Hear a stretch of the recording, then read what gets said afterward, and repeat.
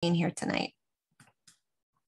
And just a couple of housekeeping uh, stuff before we get started. As you know, this session is being recorded and we wanna do that just so other folks can watch it at another time. Or if you had some questions, you were here and you wanna rewatch it, it will be available to you and it will be up in our YouTube channel and we will put that link in the chat shortly. Today, we're going to have a conversation with a team of Access and Enrollment that's going to help us walk uh, through GoCPS.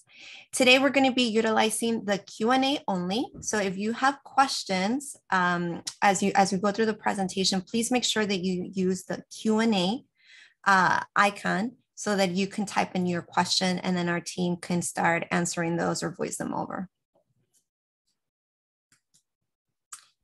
Just a couple more things before we get started. Uh, and screen, you guys can see some of the upcoming sessions that we have uh, this week and next. So feel free to um, scan that QR code that you see on your screen and also um, if you get our emails, just click on the link so that you can RSVP for some of our other sessions that we have coming up. We are going to have college and career actually joining us tomorrow with uh, talking about college options and CTE programs for high school. And then our team is back again, trying to support us with Go CPS. And we'll also have as the experts tomorrow with SEL and supporting what what we're doing in CPS to support our students. Fridays, we have a nutrition and cooking class. And then Monday, we have an SEL session in Spanish. So once again, welcome everybody to the Go CPS uh, application process workshop. My name is Berenice Pan, part of the FACE uh, team here in Chicago Public Schools. Today, we have an awesome team joining us, giving us their expertise and how do we manage and, and maneuver this application process. So today we have Thais with us and Rohini that are going to be giving us their expertise and presenting to us. I'm going to let them introduce themselves and tell us a little bit about themselves. Thanks so much, Bernice, and thank you. Um, so my name is Thais Huntley, and I have Rohini Bapu here. Um, she is our senior application specialist, and I am our director um, of the office. We also have on our team Megan Trinrud and Janelle Soriano, who are going to be assisting us with your answer, your questions and answers in the Q&A button um, down below. So Thank you all for joining us. We will get started. Um, it's a lot of information that we're packing into this hour, and we will have time for questions um, as we go along. So let's we'll go.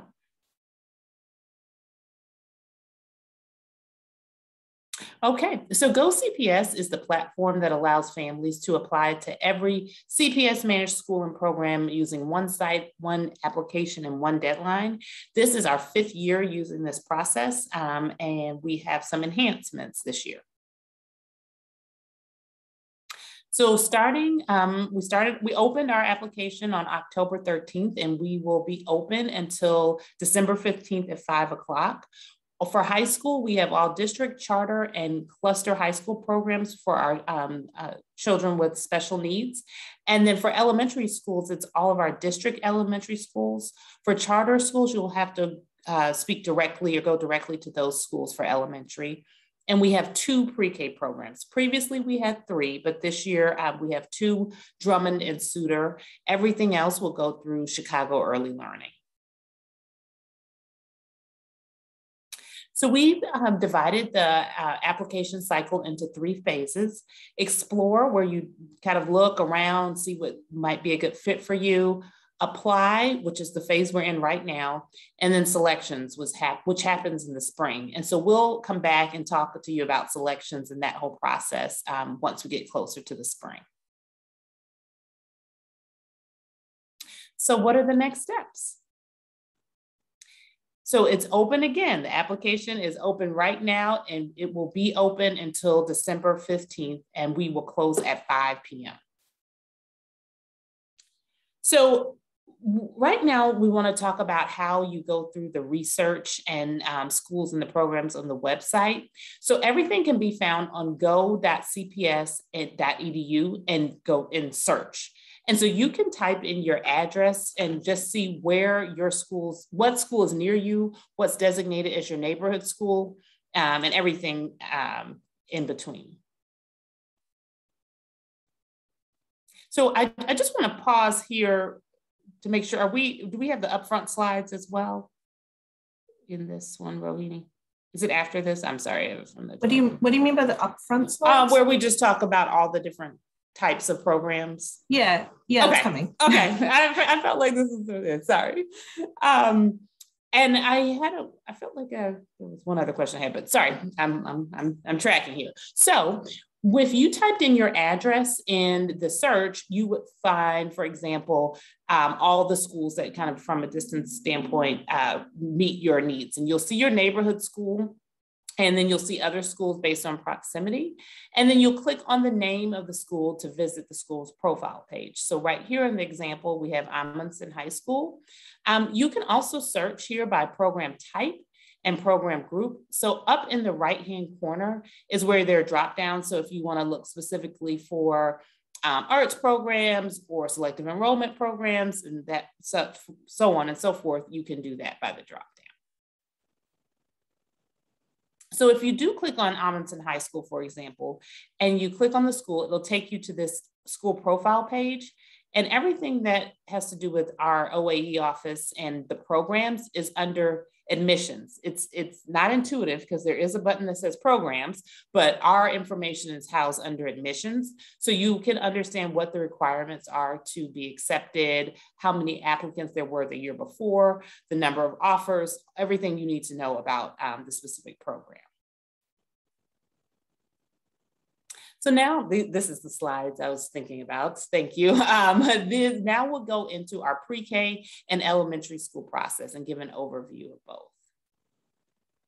So as I mentioned before, the magnet pre-K programs that we have are just two, Drummond and Suder this year. Students are selected based on a computerized lottery and you submit applications now before your student enrolls for the fall of 2022. The application process for everything else is through Chicago Early Learning, and that takes place uh, later in the spring. So what are your options uh, for schools? For, first of all, you always have your neighborhood school and every street address is tied to a specific school and you are entitled to go there. Um, in most cases, you can attend your neighborhood school without an application. If you want to enroll at any point, you can contact your school directly and you would find your neighborhood school in that locator that we went through in the Amundsen example. For any other schools outside of your neighborhood, you need to submit an application through GoCPS and you're not restricted to anything near your home. There we have a, wide, wide variety of options, um, but you will submit your application by December 15th of this year for enrollment um, for next year, fall of 2022.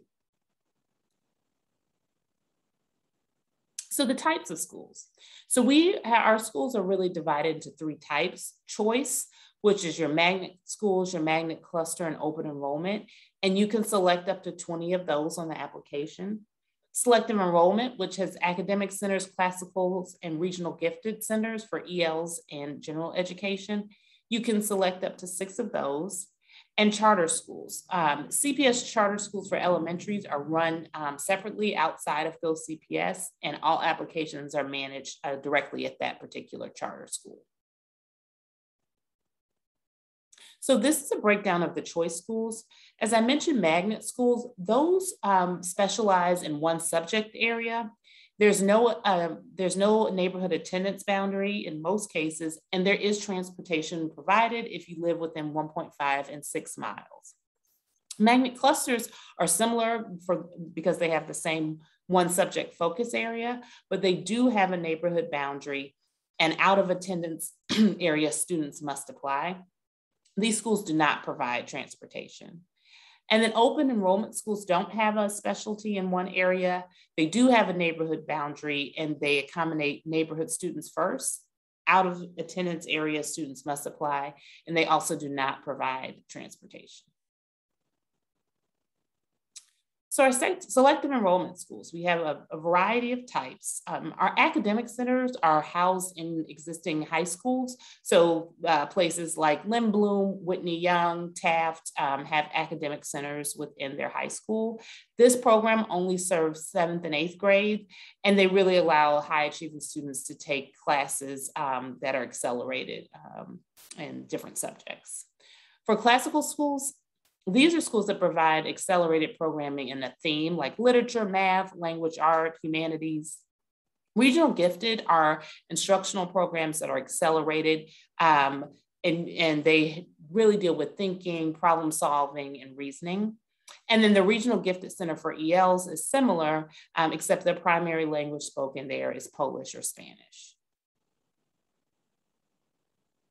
So these are the requirements for the academic for the um, selective enrollment schools. You can see that um, academic centers have a GPA minimum of 2.5 and uh, 3.0 for classical and regional gifted.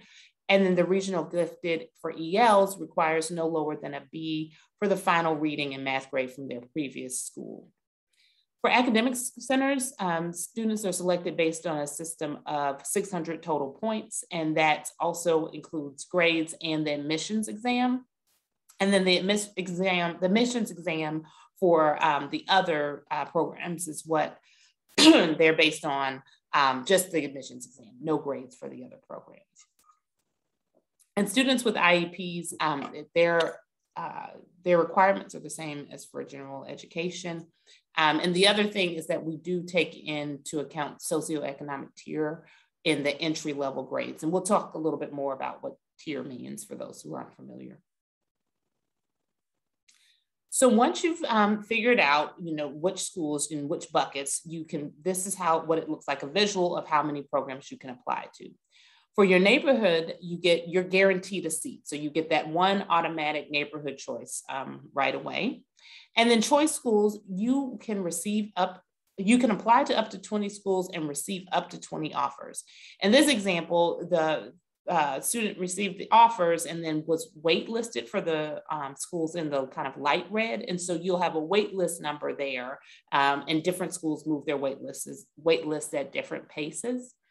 And then for selective enrollment schools, you have you can choose one of each of the types. So in this example, the person chose an academic center, a regional gifted, a regional gifted for English, and then an international gifted program. Um, yeah. Okay, so now we will move over to high school. So high school, we have, um, we for your neighborhood school, um, you do not have to apply uh, just the same way that it's in the um, previous in elementary schools. Um, if you're interested in your neighborhood school, though, we do encourage you to put it um, on your application and your order of preference, just so that we have it for tracking purposes and are able to um, understand your true preference there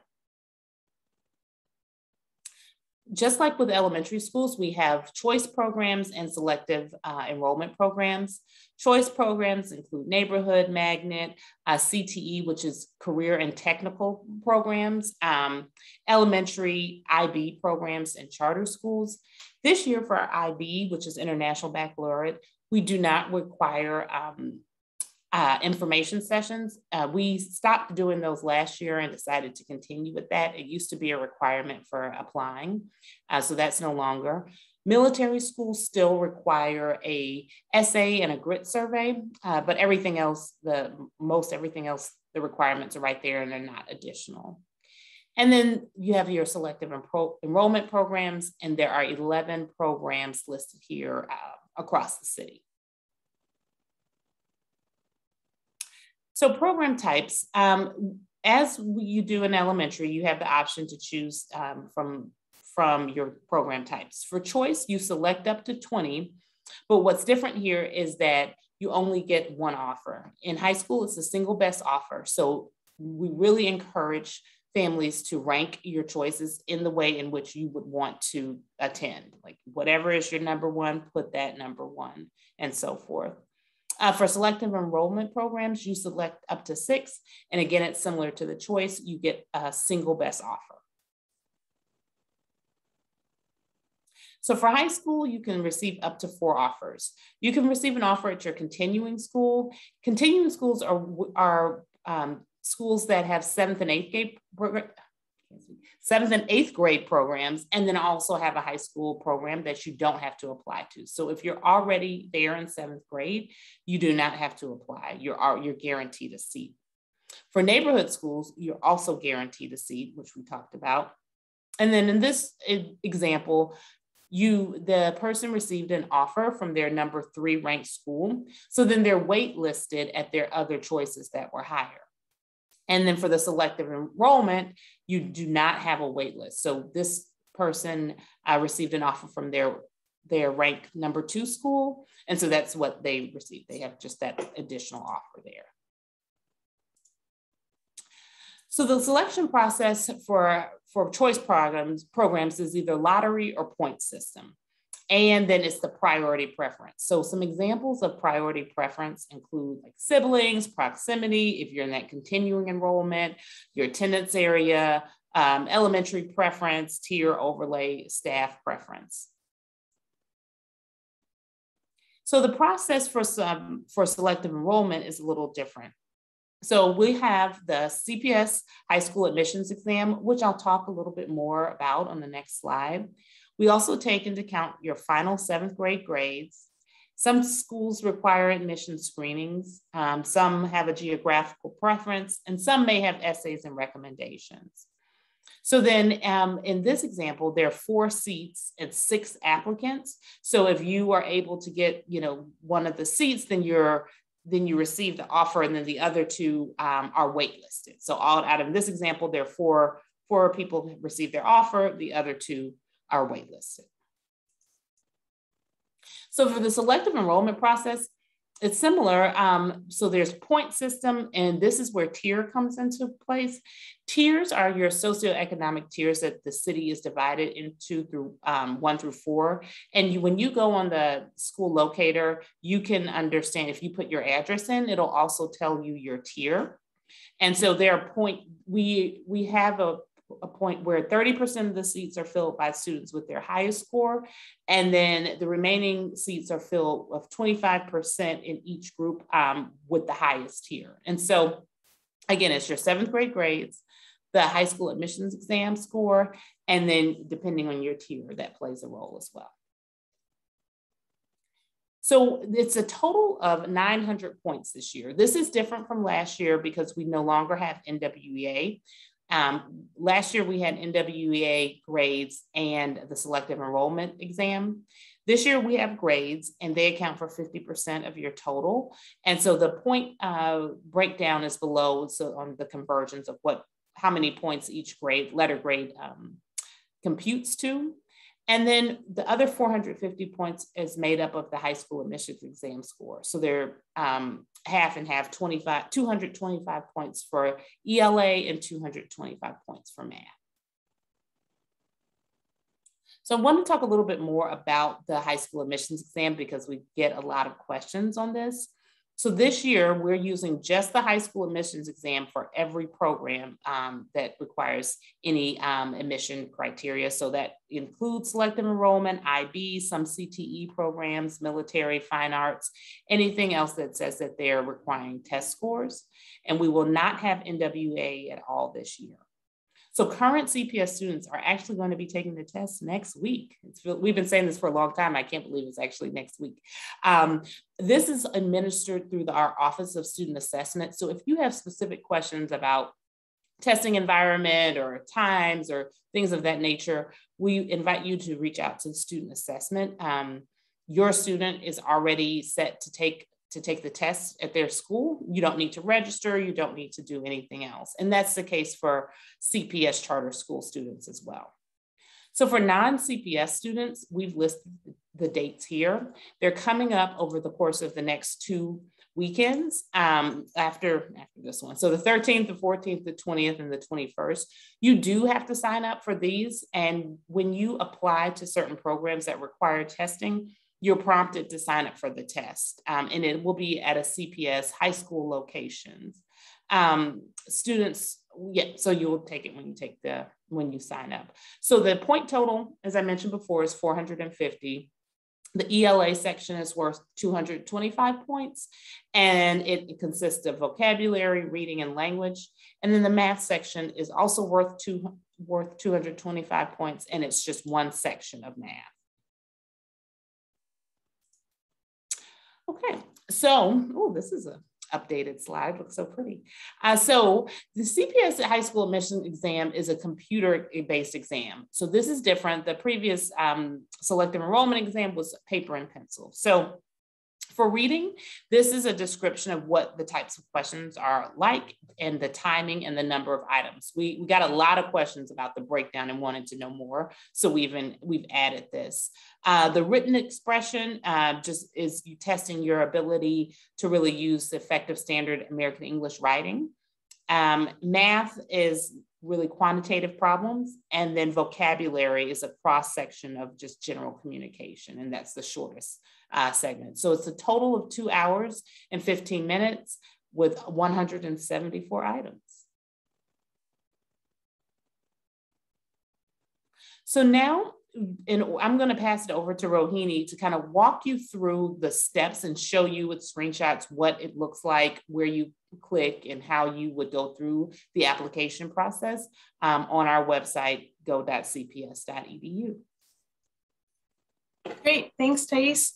Um, okay, so if you are ready to complete your application, the best place to start is the Go CPS website, and that would just be go.cps.edu. Once you get to the Go CPS website, you're going to click the Apply Now button that um, is in the top right corner. And when you click that button, you'll come to a login screen that looks like this. Okay, so when you get to this login screen, regardless of whether you've had a GoCPS account in the past, everybody for the first time that they come to the new platform will have to create an account. Okay, so if you try to put in your old username and password, it's not going to work. You have to start over with a new account. And then after you create the account, every time moving forward, then you can just put in your email address and password here. There is also the option in this top corner to change the language of the page. And so there are several options that you can um, that you can pick from, and that will change all of the language on that page. So once you're asked to create your account, you're going to fill out um, your basic information here. One thing I do want to call out is that you'll have to enable text messages or email notifications. You can choose one or both, but you have to at least pick one of these. And this is going to be the best way for our office to communicate with you. Okay, once you get all of this filled out, you're going to go ahead and hit that create account button at the bottom. And what's what you're going to see next is what we're, we call the dashboard. So you're going to see that your name here or the parent name, whatever you filled out as the parent name, um, and then you'll see that there are no students the first time that you come here, there'll be no students linked to your uh, parent account. And so that's what we want to do first. We want to get, uh, get started by adding your student to your account. Okay, so when you add a student, this is, this is really, really important. When you add a student, you're gonna come to a page that looks like this. And depending on whether you toggle to the yes or the no, it's going to look somewhat different. So this is when the, it's toggled to yes, and this is when it's toggled to no. The question that you're answering yes or no to is whether or not your student has a CPS ID. Now, regardless of whether your student is a current CPS student or not, if they've ever had a CPS ID, so that could mean that they've been a CPS student in the past and now are not, or whether they have never been a CPS student, but they have a CPS ID because of IEPs or anything like that. If a CPS ID has ever been created for your student, you must answer this question as yes.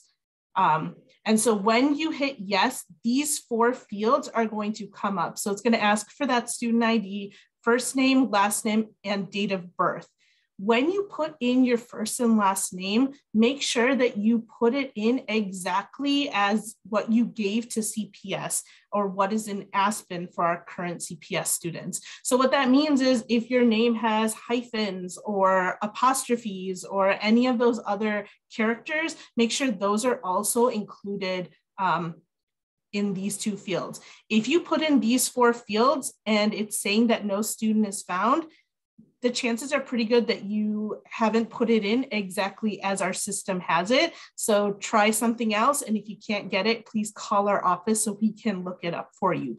Please do not just move just move go to no and create a new account what we'll have to do then on the back end is try to merge those accounts so please if you know you have an id go through the yes um, flow but if your student has never had a CPS ID, um, you're going to hit no here and you'll see that those four questions disappear. So then all you need to do is hit I agree and then continue to the, um, to the application.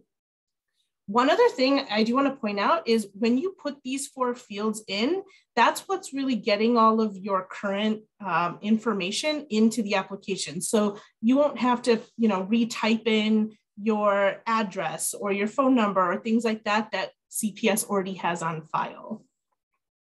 Also for our diverse learners, if you have IEP or 504 information, um, that is also going to be automatically pulled in if you successfully link your student using the CPS ID. Okay, so once you get into the application, you will notice that there is a menu on the left side of the screen, and this is the best way to navigate through all the steps of the application. You will notice that there's this like little arrow that looks like a back button. Never push this button. It will take you back to the beginning and make you restart everything. So uh, just avoid this button at all costs.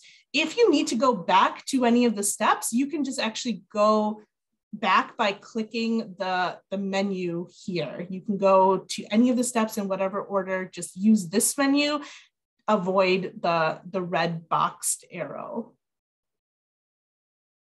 So the very, very last thing that you'll do after you go through all the steps is you will review and send. So when you get to the screen, just make sure that all of the information on the screen um, is exactly as you want it. If you do need to make a change, go ahead and just go back to that step using the menu on the left-hand side, and then you can make the changes that you need. When the application is exactly as you want it, make sure that you hit the submit application button uh, down here at the bottom. Once you hit the submit application button, you'll notice that you'll be taken back to the student dashboard and so here you can see now that I have completed the application and successfully linked my student here, you'll see that it no longer says get started, but it'll actually have a tile for that student. If you have additional students or children, you can just add a student and go through that process again with your second or third kid. You can add as many kids as you need to to your account. From here, there's a couple other things you can do. You can see exactly how many applications that you have already submitted. And if you'd like to see any of those applications, you're gonna hit the view all button here. So once you hit view all, you're gonna be taken into a screen that looks like this. And what you'll see on this screen is on the left-hand side of the screen, you'll see any events that you have scheduled. Um, so here you can see in my you know, uh, example here, this student applied to a military program, and so they have a military uh, information set, session scheduled.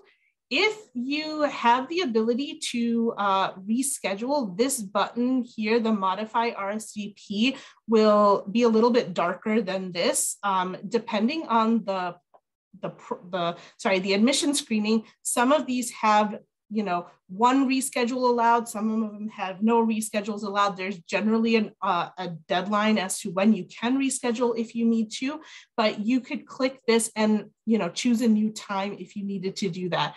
If you've already exhausted all of your um, reschedule attempts, then uh, it'll gray out like this.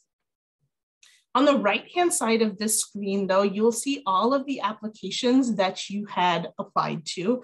Um, and you know, if you need to withdraw any of these applications, you can do so by just clicking the withdraw button here. But if you need to make any changes, you can do so by clicking either of these two buttons, the edit ranking button or this little pencil um, icon. If you press the either of these buttons, it's going to take you right back into the application. And so this is where you can add or remove programs. This is where if you want to re-rank your programs, you can do it from here. Um, all we ask is like, if you do make any changes, just make sure that you go to the very last step and hit submit so that those changes are, um, are submitted. You can make any of these changes up until the application deadline of December 15th at five o'clock. So in the past, our re-rank deadline has been after the application deadline. And so this is a change. The re-rank deadline this year is the same as the application deadline. So after December 15th, you will not be able to make any changes to your application. Okay, we have one more family training um, scheduled and we'll probably schedule a few more before the 15th, but um, I think Bernice already had mentioned this, but it's uh, tomorrow uh, from two to three. So if you wanna see all of this over again, uh, please join us tomorrow as well. The other thing we do urge you all to do is if you haven't done so already, please go to um, our, our contact page on the Go CPS website and subscribe to our mailing list. This is the best way for you to get all of the information that you need as it's coming out. So this is the best way to ensure that you don't miss deadlines, you, you are aware of any changes if they happen, um, and so on. So uh, if you haven't done so already, please do this. If you were on the subscription list last year, you have to resubscribe every year. So please make sure that you do subscribe. And then of course, if you ever have any questions, our call center is um, open. Um, the phone number is there, or you can always email us at gocps at cps.edu. So I guess at this point we can open it up for questions. Yeah, no, thank you oh. for that. Sorry, no. no, go Bernice, because they, are both for really for you too. The other, the outstanding too, I think, um, about emailing this video. How will um, attendees receive the video? For sure. Um, so yes, we usually um, have the video up in the next two or three days after the session, and it will be on our YouTube channel. We can also just uh, once it's up and ready, um, we can email everybody that RSVP today and send that out to you guys. And Leticia, the link for tomorrow, no, it's different. Uh, it's not the same link. So if you RSVP for that, an email is sent out to you um, to get that link for that uh, session. And sorry, we don't keep the same link. We just have a lot of different sessions going on. Um, so that's why the links are not usually um, the same. So the RSVP is still open. So if you want to come back, you can do that and, and sign up again. Um, again, this video will be up in the next two or three days. Uh, as soon as we download it for the cloud and put a couple of things in for CPS, then it will go up on our YouTube channel. Thanks. And Rohini, can you explain the, or maybe we could have Janelle, I don't know if her mic is on, um, the questions about, can you explain the kindergarten testing process? Uh, yeah, I can, unless Janelle is your, you're the testing expert. So I'll defer to you, but if your mic is not working, I can definitely answer. Okay, I'm here. All right. Okay. okay. can you hear me, everyone? We can. Um, Okay. Um, is this uh, a pre-K going into kindergarten? If a pre-K going into kindergarten, this will be a one-on-one testing compared to just a kindergarten going into first grade. This will be a group testing for that. Um, so which is a little bit different um, compared to. So that's how the testing would work compared to pre-K versus kindergarten. Okay, and yep, and you you will be prompted to sign up for those tests when you apply to a program. So if you're was you know just not sure about exactly the question, so want to cover everything that if you sign up, uh, if you apply to a program that requires kindergarten testing, or if it's for first or another grade, um, you'll be prompted to select your test date right there, and then you will receive more information and like a testing ticket once you are closer to the test time. Um, I see another question about, oh, well, what month does kindergarten testing usually occur? Um, we, I'll let Janelle do this, but I know we start, is it this month that we're starting? Yes. So right now started, in November. Yeah, it started actually mon- yesterday. Yesterday. Yeah, it started this week. yeah. it started this week. Um, so there are testing dates available for that. Um, that's what usually occurs, that it starts pretty early because pre-K is probably one of our, our biggest ones to test. So yeah, we start pretty early for that. And, and it goes other way, add more dates ahead. as we go. Yep. Yep. And I see a few people had their hands raised, but if you're able to type your questions in the Q&A and then we can answer those um, verbally um, or, or type them in. Yeah, thank you for that, um, Thais. Yeah, if you guys can just type in your, your questions, that's helpful. Thank you guys. Um, okay, and so one of the next questions is when does selections, when are selections made for selective enrollment for kindergarten? And that is in the spring. Um, we will announce generally it's in, we try to target March for high school and then elementary comes out later in the spring, generally in um, April. Uh, uh, for selective enrollment admissions, are diverse learners judged by the same criteria as non-diverse learners? Um, so no, they're they're not. So for high school, there are there's a different pool for diverse learners. Um, there's a certain percentage of allocated seats at high schools for diverse learners, and so there there's um, that they're still tiered within that pool, and then um, seats are determined that way. Uh, I only see the edit ranking. Where can I find the edit button for adding more schools or editing list of originally selected schools? I'll so if you if you go into edit ranking, it'll take you to the ranking page, but from there you can navigate using that menu on the left hand side of the screen. You can go back to the program selection page, I think is what it's called.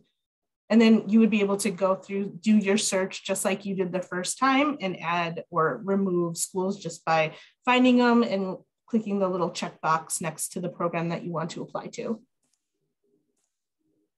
Okay. Um, is the admissions test for the sixth graders taken for the academic centers the same as the admissions test for eighth graders who take the admissions for selective high selective enrollment high schools? Go, go ahead, Rodney. Oh, no. So the, the test that the sixth graders take in, in order to get into an academic center is the regional gifted exam. Um, it's just, it's at a seventh grade level. Um, the test that eighth graders are taking this, the um, high school admissions exam is different. Um, okay, and Holly, yes, I'm going to answer this one out loud and loudly. Yes, it does. So the question is Does it matter how you rank the choice schools since you can receive multiple offers? So in elementary, no. Elementary choice schools, uh, you can receive multiple offers, but there's no rank for elementary. But in high school, it is. There are the rank matters, um, and you can receive one offer um, for, for each selective enrollment and choice. And so we encourage you to rank in the way in which you would want to attend the schools. We get a lot of questions about should I, you know, I think I may get into this one. Should I put it first? You really should put first the school you really want to go to. We that's the way our algorithm is paired. You know, they we try to rank people, match people with their rank, and move on down down the selection process. So so yes, it is very important to rank as you would like to attend. Can I ask one thing? Yeah. Um, for elementary, yes, you don't have to rank choice, but you do have to rank the selective enrollment schools. So please make sure that you do differentiate between those two. And then one other thing, question we get a lot is if there's any, like, am I going to get penalized for ranking something first versus like seventh or whatever. And no, there's no penalty to how you rank it, which is why I'm going to mirror what exactly what Thais said. Please rank things in the order that you want to attend them. Doesn't matter um, what someone else ranks it. If they rank it much higher, they don't have a better chance of getting in because of how they ranked it. Yes. Uh, I see another question about saying, can you talk about round two and principal discretion? Yes. So for Round two, we we open up round two for those schools that still have seats after we've gone through the round one process. And that's generally, you know, what is it like? So we usually have two weeks to accept or decline, and then it's a, about a week or so after that, after uh, selections go out. the principal discretion process opens um, right around the same time as round two, and it is for um, specifically for selective enrollment high schools. If you've it, and you can apply to kind of be considered, there's a whole process of um, essay um, and any recommendations, any supporting materials. If you are trying to um, get into a school that you ranked on your original application, it's critical. You can't have you know, not put Jones on your original application and say, oh, I'd like to apply to Jones through principal discretion. It has to be a school that was originally on your application. Um, each school has a limited number of slots that um, that we. It's not usually generally um, shared each year. You know, you can ask or show share the previous year, but it's a percentage of their total um, enrollment at the freshman high, at the freshman level. So for example, Lane Tech is a large school. They would have more principal discretion slots available versus King High School or something like that. Um, should we apply if it's our district school and how do we rank that if we do? I'll let Rohini answer that one. By district school, are we assuming that's a neighborhood school? I think so. That's, that's what I'm um, okay, so if if you again, if you truly want to go to your neighborhood school, that's like the school that you want to go to more than any other school, then rank it first. So again, like truly just rank the schools, regardless of whether it's a school that you have a guaranteed seat for or not, rank them in the exact order that you want to attend them. Great, thanks. So if you qualify for a, oh, that went away. Someone answered it. Okay. Um, in the case of more kids tying for selective enrollment high school spots than are available, how will the tiebreaker be determined this year? I.e., if more people get 900 points, let's say, than spots available, how will the selection work? So we have we actually have a tiebreaker process that we've used in previous years that would still apply because it has to do with um, letter grade and so forth and so on. And we will revisit this once we get to the selection phase. We are this this question has come up a lot. I know people are eager, um, and so we want to find out what what what everything looks like, and and we will um, apply a tiebreaker. But we do have options that we already have um, in place that we can we can use going that going forward. And the question um, about principals, uh, high school and athletics, if this is principal choice, principal discretion is is exactly what that is. It's it's a completely up to the principal how they want to, um, you know, send those offers out. Uh, I would just say that it don't count on principal discretion. It's a very, very small population of people that get in on principal discretion. It's your chances of that are very, very low. So uh, if you, you know, that's all I'm going to say, I guess. Thanks. Um, if you received a choice or selective enrollment high school offer in round one, will you be offered another in round two, or will every high school applicant only get one offer from each selective enrollment and choice high school? So the answer is yeah, you if for choice, you have the one offer, but you are on waitlist. So you receive one choice offer and then you're waitlisted otherwise.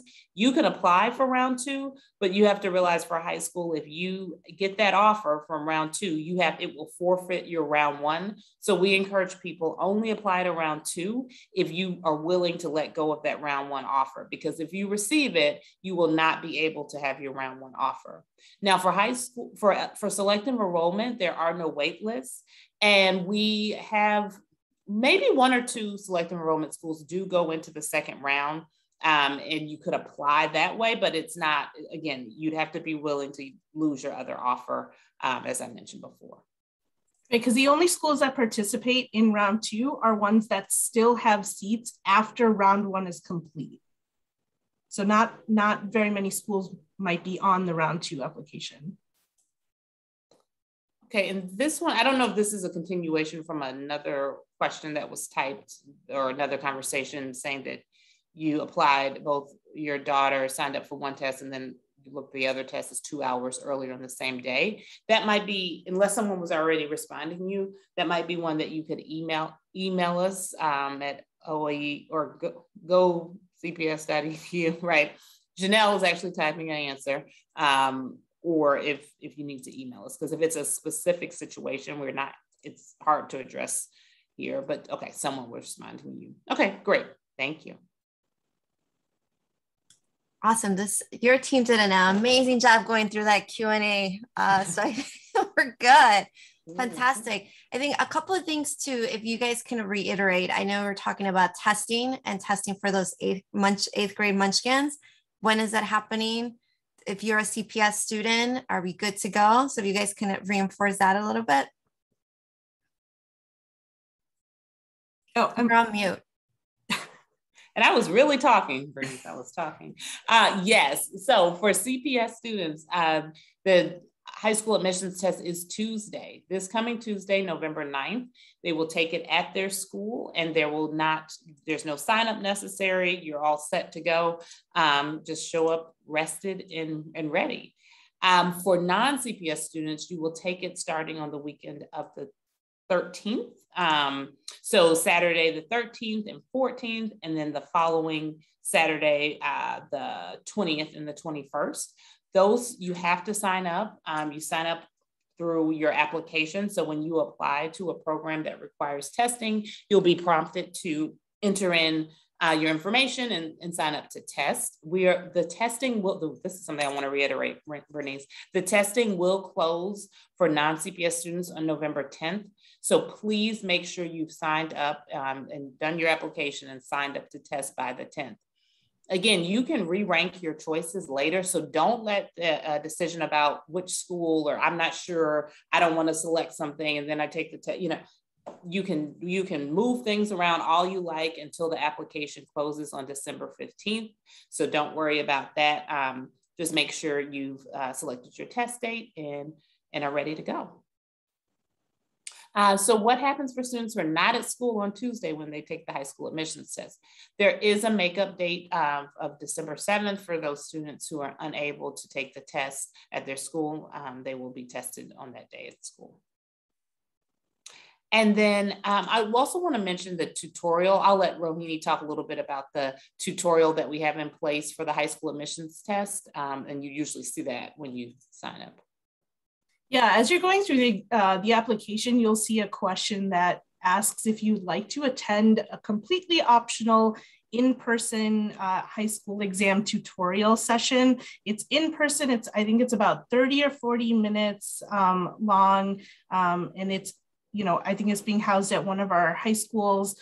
Um, but if you would like to attend that session or have your student attend that session, you would just click yes for that question. And then it'll ask you on the next step then to schedule that exam or sorry, that, that event. Um, it, again, it is completely optional. So if you have no interest in that, you can just hit no and you know, you don't, you're not going to be asked to schedule anything and it's not going to penalize you or anything like that. Um, yeah, that's it. Oh, great. And yeah, it's actually uh, two high schools are hosting the exam, the, the tutorial. So, um, and then what is the location of the testing for pre-K students going to kindergarten? That is I, I is, am I speaking correctly? Okay. That is um, IIT, Illinois Institute of Technology. It is, um, that's where we always house the pre-K testing and um, we have it, there's parking available. Um, it's easy to access. Uh, please remind us when will results be available for elementary and high school SE tests? I have two. So for high school testing, we will make results available before the application window closes. We're targeting at some point in December uh, before the application window closes. For elementary, um, I'm gonna let Janelle answer that because I don't know if we're sharing test results in advance no, we're not. It won't be until the spring um, for that, for doing results. Mm-hmm. Okay, mm-hmm. thank you. Um, how will CPS deal with kids missing the high school test on Tuesday? Do they need sick note? What if not coming so they can get an extra month of study?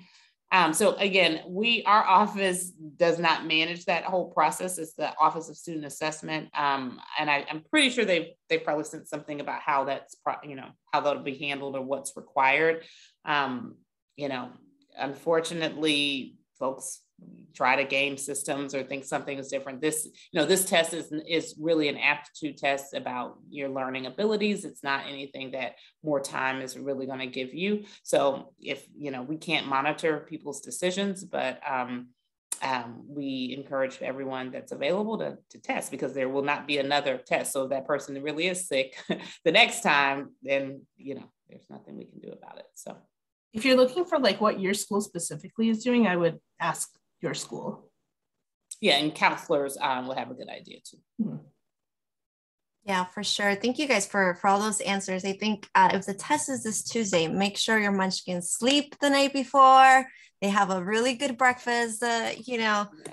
that morning, and just encourage them that they're going to do great. Because I know kids are always super nervous. So just encourage them, tell them how fantastic they are, and send them on their way. And you know, they'll they'll do the best that they can um, for that testing. So thank you guys. And I know we're, we're coming to a close. Uh, again, your team's been awesome today, like answering all the questions. So I guess um, same thing as we did last time. I think for from all of you guys from your team, thinking of that that one thing that you want parents to leave with today it was a lot of information, a lot of really good questions that they asked and answers. Um, knowing that kids are going to test next week, parents are a little anxious. We can see from the questions that they have what what is the main thing that you guys want parents to leave today with? Yeah i think for me, it would just be about exploring all your choices. I know a lot of people get hung up on the selective enrollment, especially for kindergarten. Um, and I understand, but I, you know, especially for high school and elementary, we have so many programs, so many. We see them all, and they're all they're just like so interesting and different, tailored for different folks. So please make sure you explore and take a little more time for CPS students. Like there's no penalty or any, you know, kind of there's no advantage to waiting a little while to take some time and explore, or maybe adding, you know, submitting an application and then coming back.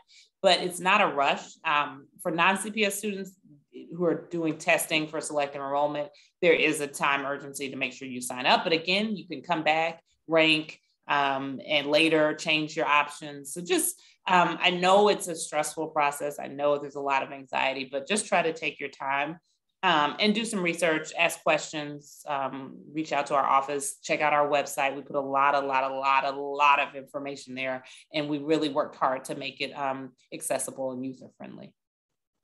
Thank you. Rohini, is there anything you want them to leave? I know there's a Spanish question, but I'll touch bases with that parent.